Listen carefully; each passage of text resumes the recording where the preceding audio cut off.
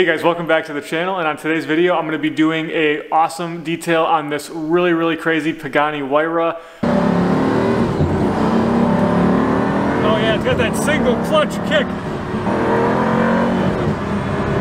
Pretty good. That might be a cop up there, I'm not certain. This is basically like automotive art it's just like engineered and designed from the ground up to be like a masterpiece of art that could be in a museum. At the end of the video, I'm gonna give you a full walk around of the car. Guys, you've, you've never seen anything like this. this. This car is totally bonkers. So let's jump into it. I'm gonna give you guys a cold start in a second, but just check out the key. This is the key to this crazy car. It looks like the Huayra. How cool is that? Let's start the morning off right with a V12 Pagani cold start.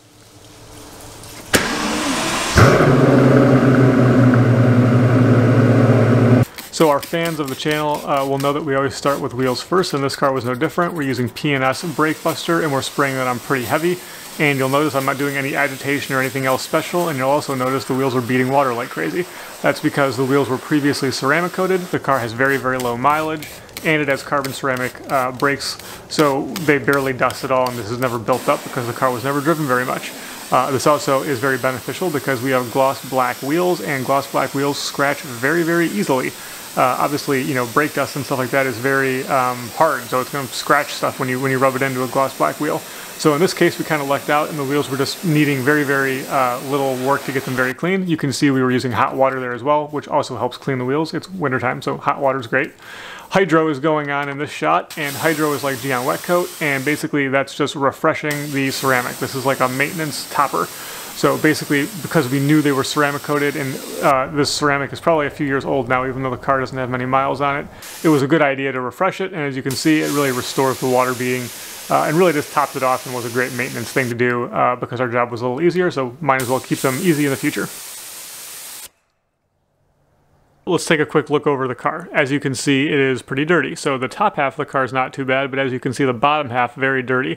You see these fine bits of dust, almost like sand building up on the back of the car um, little literal pieces of rocks in certain parts of the bottom uh, parts of the car that are literally uh, stuck on that you'll see as we go. And a lot of this fine dust on the bottom of the diffuser and stuff. And this stuff is like murder for swirl marks. It'll really, really be bad if we were just to jump in and with a wash. So rinsing is very important.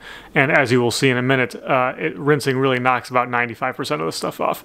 Now the front, the top, all of this stuff is very clean. And that's because this car was previously ceramic coated so the rinse step is really important on this car because it's ceramic coated because we have that protection on there that's going to make the rinse really, really effective. And you can see how hydrophobic everything is here. So when we're rinsing, we're really blowing like almost 100% of the dirt off the car because that hydrophobic property of the ceramic is doing what it's supposed to do, especially like on the bottom part of the car here.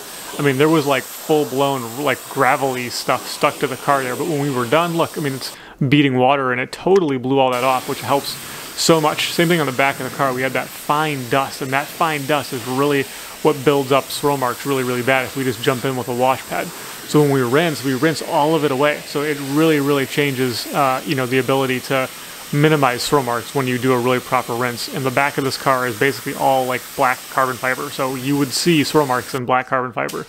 And then like the bottom tray there, like there are full blown rocks down there. But look, you know, the pressure washer literally blew them off the car with maximum lubrication from having a lot of water going there versus me having to go in there with a wash pad or a brush and trying to dislodge it. That's like you, and that would that wouldn't matter if it was ceramic coated or not. That's just you know you got to get rid of those things with a lot of water and a lot of lubrication. Um, but as you can see, just all of that stuff was uh, the best way to remove all of that heavy, heavy dirt before we got into foaming. We didn't want to foam that stuff, right? We want it off, then we want to foam clean paint. So that's what you see here. Now we're using a really nice thick foam on the car, and because the car is ceramic coated, we're kind of doing ceramic maintenance here. So we actually sprayed uh, Gyeon Q2 foam onto the car, which is like, we've talked about that in other videos, but it's basically a really strong decon soap to really dig into that ceramic, into that paint, and get all of the dirt and unclog it and really clean it really, really nicely. And all I did was spray it on, and now I'm rinsing it back off. And as you can see, look how good that water beading is. Like that looks really, really, really good. So just by doing that foam and then rinse with Q2 foam, we really accomplished a lot uh, in terms of cleaning the paint and getting the dirt off. Now we're literally foaming the car a second time, even though I just rinsed that foam off. This is a second foam of the entire car, and now we're using uh, Bathe, which is just normal car soap. And this is intended uh, to be used as in, in this order. You you can use Q2 foam if you want as your standalone wash product, but I don't really recommend that. And neither does Gyeon. It's not intended for that purpose. It's intended for a pre-wash foam and then rinse back off because it's like a heavy lifting product to, to really clean the coating out. Now we can go in and do um, the wash with Bathe and with our wash mitt. And because we did that rinse and because we did Q2 foam first, and now we're doing, uh, you know, our third step in this process of doing a wash with Bathe, with Bathe, we are really minimizing the chance for additional swirl marks. Um, which is, you know, how you should basically be washing your car for any kind of heavy maintenance. But this is so important, guys, because the process we're going to do on this car is very different than on all the other cars. Whereas if I skip a step here and there and I scratch a car a little bit when I'm washing it, maybe to do it quickly, because I'm about to paint correct the entire car, that's not the end of the world. But if I, in this case of, of this car, I'm trying to make sure the car stays as perfect as possible because it was previously ceramic coated. We are going to polish this car, which we'll talk about in a minute, but we're not. We're going to polish it differently, and because we're going to polish it differently, um, it's really important that we wash the car correctly. It's really important that we don't put any additional marks into the car because we want to do everything we can to preserve the current ceramic coating on the car. So I don't want to put any accidental scratches in the car that I have to remove during my paint correction process versus if the car was like destroyed, super horrible paint, well, then it wouldn't really matter very much, would it? Um, so this decon process was really like a, a, coating maintenance. It was more of a coating maintenance uh, wash than, than anything. And once again, you can look at this uh, th- these shots here and really look at how good that water beading is. Um, you know, this is a fresh, fully, you know, done proper ceramic coating. This is not some kind of uh, you know cheater wax like where someone put some Meguiar's wax on it before they sold the car. Like that that is not what that looks like to me. That that is real ceramic in good health. So we're gonna do everything we can to try and keep it every time uh, I get into this car, it kind of puts a smile on my face. I feel like I'm getting into the car from, you know, like the DeLorean from Back to the Future. It's got like that style door, and I tell you what, these uh, these kinds of doors put a big smile on your face.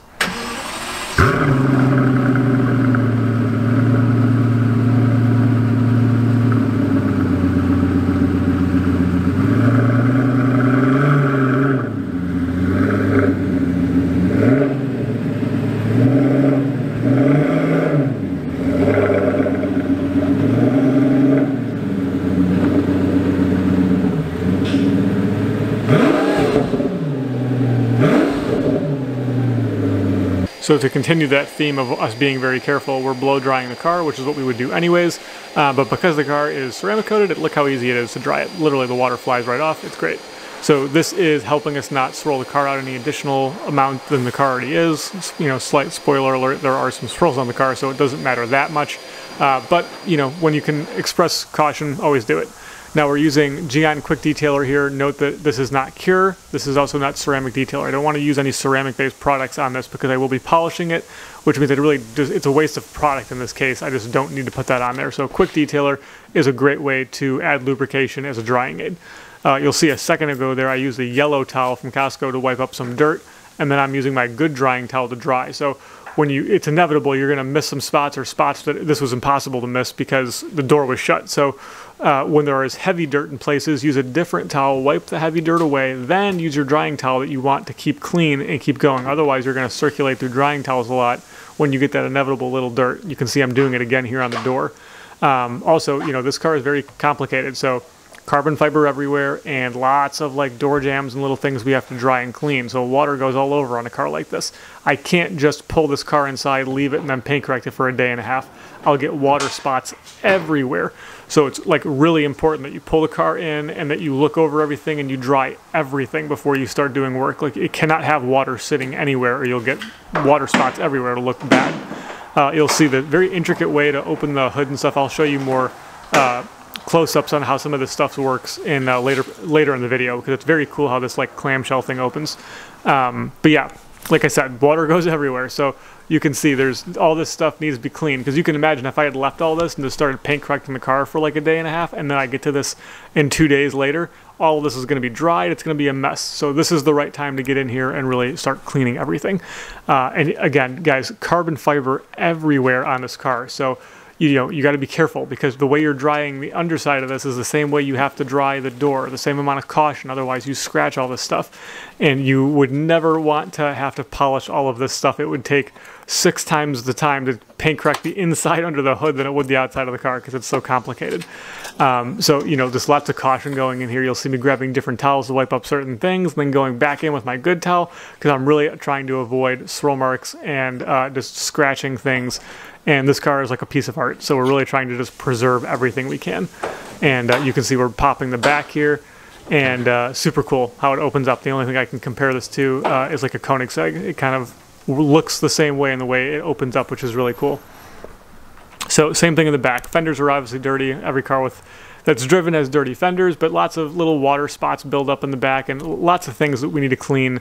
Um, you know, not your typical car, right? All right, guys, so as you can see, the paint is pretty hydrophobic. Like we have a lot of hydrophobic water beading on there. It looks really good to me. That is not like cheater ceramic coating or anything. That looks like a real full-blown ceramic coating to me. So that's awesome. That's good news. Like that means that the previous owner really cared for the car. That that was Keith Urban. So good job, Keith Urban. You, you took good care of your uh, of your Huayra. So everything in the car looks really really good. I'm going to take you for a look around the car in terms of paint condition because there are some swirl marks on some places, which means we will polish the car, which means we will either a remove the coating or two we're going to kind of hit the durability on it. But that's why we're going to add our own coating back over it. Bottom line, new owner doesn't want swirl marks in his paint, so we're gonna fix that. So let me show you what the paint looks like, and we're gonna talk uh, how I'm going to basically do a really uh, express um, like paint correction process, which is way different than the normal paint correction process I would do, like for example on the P1 or the Senna. That was a totally different process because those cars did not have ceramic on them. Um, this clearly does, so different process. Let's jump into it. All right, so I just polished this rear fender to my, to my uh, right here, and I want you guys to understand something. So this car has ceramic on it, so ceramic is hard to remove. So we have to choose a polish that is abrasive enough to react with the, uh, not react, but to cut into that ceramic coating to remove the swirl marks but to my best ability, I'm not trying to remove all of that ceramic coating. Now, certain areas of the car, like the like the lower part of the car, closer to the wheel here, has more swirl marks than the top part. Um, you know, like on the like on the uh, on the top part over here. So I don't need to polish those areas the same way. They need to be polished different ways. One uh, needs to be polished potentially with a different polish because it needs to be more abrasive, or one needs to be polished uh, for a longer period of time. Now I just polished that whole fender and basically found like the code or like the paint code for what I needed to do to make it perfect. And I found out that doing the side, I had, I had to polish the side for X amount of time with uh, CarPro Reflect on a certain speed on the polisher with a certain pad, and I worked up to that. So I started with a uh, short amount of time, about 20 seconds I polished it and then I checked it with a light and it wasn't good enough.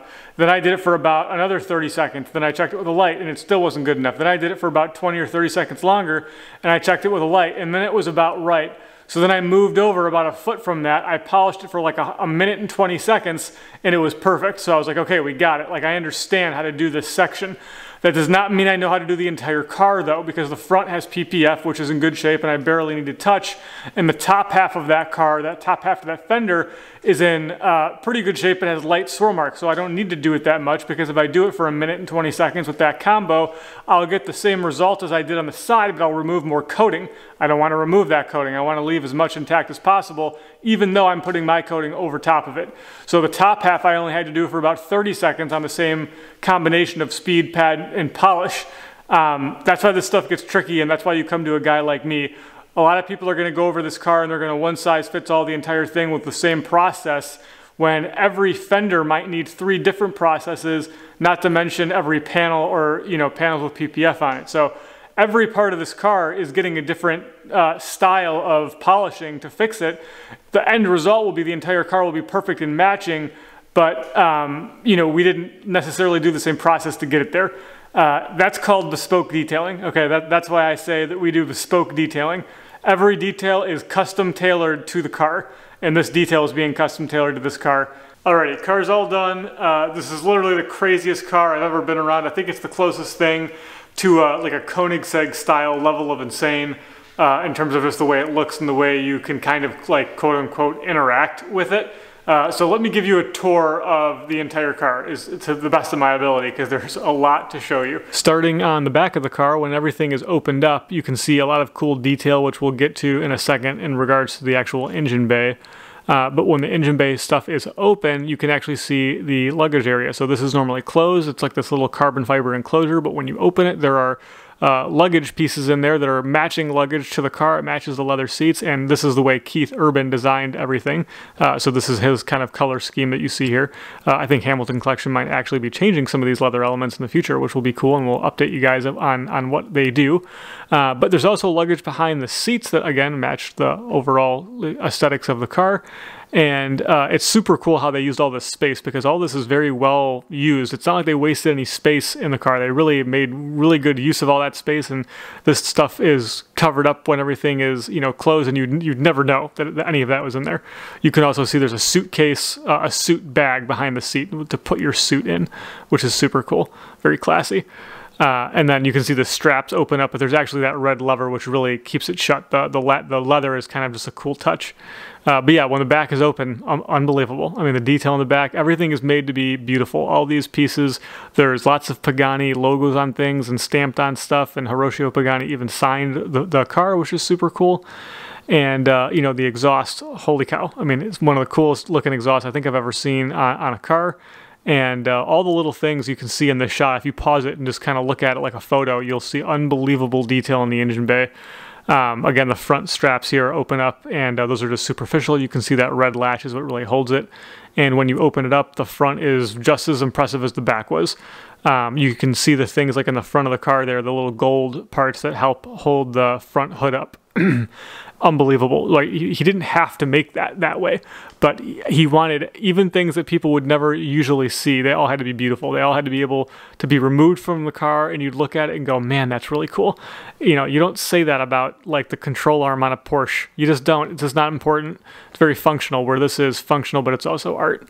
And uh, as you can see, this is 77 of 100, which is pretty interesting because uh, many people would think that this is, you know, a cool car, but maybe not the most rare of all the cars we've done. But this is, in fact, the most rare car that we have ever done.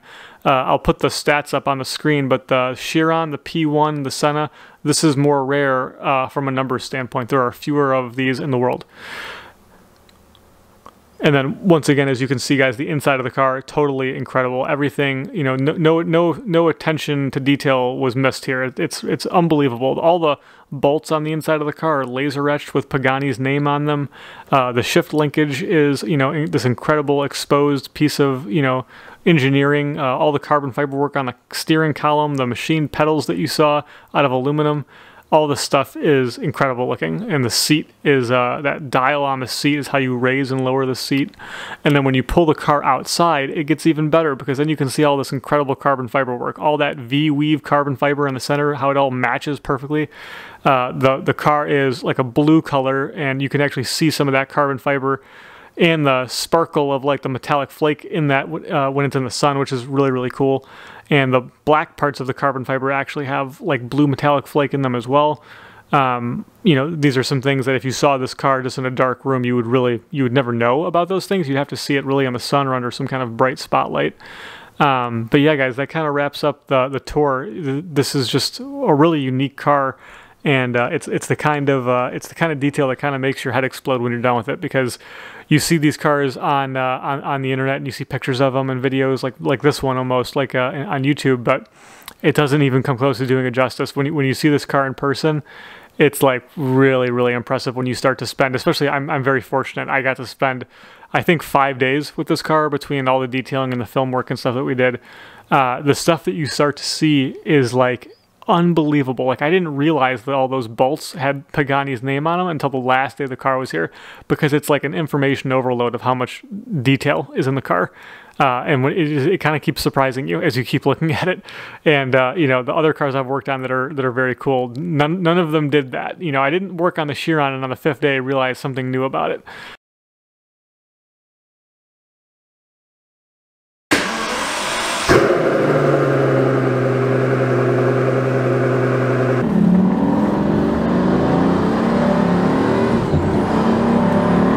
Oh yeah, it's got that single clutch kick.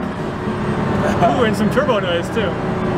Ooh, the flaps pop up too. That's Isn't pretty that cool. crazy? It's, it's Very uh, cool. distracting, but I I, in a good way. Yeah, so Tommy's definitely not giving it all it's got. You can tell the car's way faster than that, but once again, we're on uh, P0s. It's quite cold outside. I think it's about 45, which was like a gift from God in the middle of December to take this car for a drive. But again, we don't uh, we don't need any headlines. You, you can you can imagine the headlines. Uh, you it know, would be great content. yeah, it would be like it would be something like uh, Steve Hamilton's posse crashes uh, Keith Urban's previous, you know, 77 of 100 Pagani Yeah. in uh, Canada. Yeah. yes. Once again, the cars have been shipped.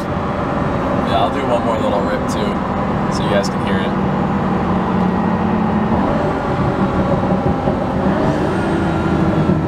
A little pop on that one. Pretty good. There How- might be a cop up there, but I'm not certain.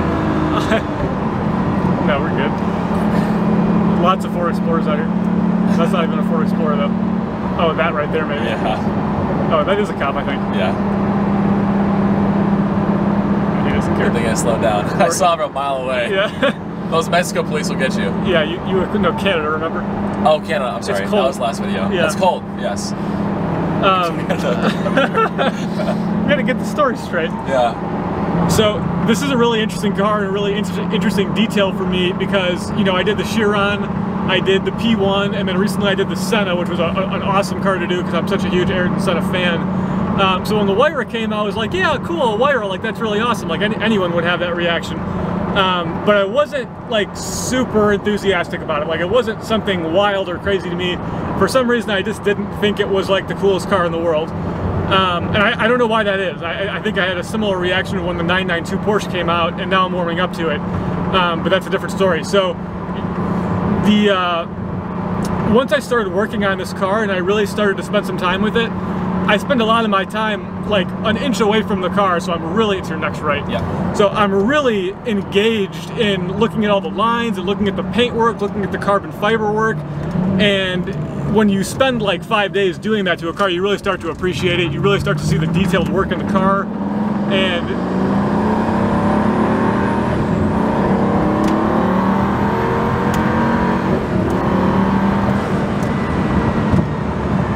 pause audio. There we go. That was, that was a good one. That was all the way down for, for a minute. Oh, okay. Just a normal drive in the Huayra.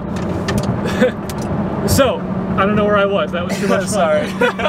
you're so you're inch away from the car. Yeah. So, um, I think the gist of it was the the car wasn't very impressive to me in the beginning, but after spending so much time with it, it's it's really a, remarkable remarkable car. It's always been regarded as, even seeing it on the internet, it's a, it's a piece of art. It's it's like the Picasso of, of cars, or like it's like looking, you know, like when you if you put this car in a museum, people would look at this car in awe, like someone would walk into the Sistine Chapel and look at look at that. It's the it's the exact same thing. It's automotive art. Um, Horacio Pagani said when he made this car that every piece of anything on the car, every part of the car had to be a piece of art if you removed it. So a control arm, uh, a- you know, the bolts have Pagani written on it in laser etching. Like everything can be removed and could be art on your mantle in your house or in a museum. Um, and you hear that and you're like, oh, that's cool. And I think you dismiss it a little bit. And then you see the car in person and you're like, holy shit, like this is not a joke. Like everything is is so intricate and so amazing. And you just start to have, in my case, you start to have a new appreciation for it. And this is not my favorite car of all the cars I've done on, but my original opinion, maybe of it being like a six and a half, is now like an eight and a half or a nine. Um, where I think the Senna still is maybe a 10, maybe because I'm a fanboy of, of Ayrton Senna, the driver. But um, yeah, I mean, my, my overall takeaway at the end of this was just like, I'm, I'm really impressed, I'm really wowed. Um, it's it's a, an amazing car from from an artwork uh, standpoint. And I was talking to my uh, my neighbor the other day, who's a big car guy, and we were kind of comparing cars, and we came up with I think for the most part I came up with you know, uh, a Bugatti is like an engineering marvel. It just it shouldn't be able to do what it does, but it does because it's been engineered to do so. Uh, a McLaren is like uh, an aerodynamic marvel. It's it's been like a Senna or a P1. It's been designed in a wind tunnel to do what it does because they intentionally made it go fast by saying we need air to go here and do that. This car is neither of those, even though it's kind of still both of those. But this car was designed to look good. It was designed, you know, the control arms could have been left normal, but they anodized them in gold because they had to be beautiful. The mirrors could have been normal mirrors, but they designed them to look like eyeballs, like so it was like an eye, like so it would be cool. All the screws works, like all the all the bolts inside the car are just designed to be amazing looking. All the stitching, I've never seen stitching so even. It's like they did this three times because two times it was not perfect all the way through on the stitching. Um, you know, it's just, uh, it's just, it's just ridiculous. This car was designed to be beautiful, and, and they accomplished that goal. Just like that, this one's over, guys. Thanks so much for watching. If you enjoyed the video, please uh, consider subscribing to our YouTube channel here. We have so many more cool videos coming out, and I have another hypercar lined up to uh, be coming to our shop soon, and we will be filming a whole video on that as well. So, uh, like I said, if you enjoyed the video, please subscribe. Also, like and comment. If you have any questions for me about hypercar detailing or anything uh, car related, just comment below, and uh, we'll see you guys in the next video real soon. And I will leave you with this funny little outtake uh, where the camera was rolling and I didn't even realize it, but uh, I'll put this in here right in the end so you guys can get a laugh. Broke his neck. He was Yeah. looking back. Look at this guy over here. People just moved into the neighborhood. They're like, holy sh! I know. Who the f is this guy? We're in the wrong neighborhood, honey. We don't have that Huayra money yet.